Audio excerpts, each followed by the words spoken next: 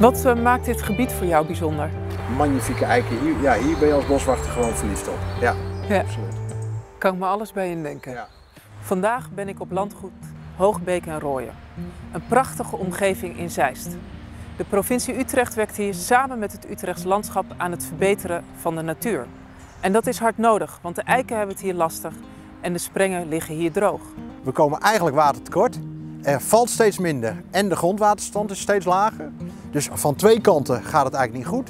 En daardoor gaan juist die oeroude bomen die we zo hard nodig hebben, ook tegen de klimaatverandering, die eh, hebben het heel zwaar en gaan zelfs dood. Oeh, deze is, eh, die heeft niet gered. Ik heb er twee nu in de laan die het niet gered hebben. En een paar waarvan ik denk, nou, dat wordt moeizaam. Ja. En de rest, ja, eh, de klimaatverandering, ik weet het niet. Ik, heb geen eh, glazen bol, ik Nee. maak me wel zorgen hoor. Ja, maar dat, dat- dat is terecht. Wat is de levensduur van eiken? Nou, dat is mooi dat je het vraagt. 300 jaar groeien, Ja? 300 jaar volwassen en 300 jaar sterven. 900 jaar. Zo.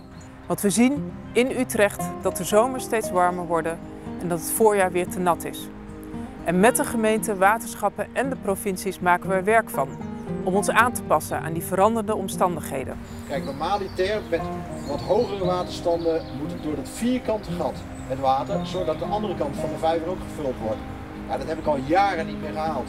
En in 2021 hebben we hier ook weer geld voor op de begroting. Dat is onze taak voor een provincie waar het goed wonen, werken en leven is.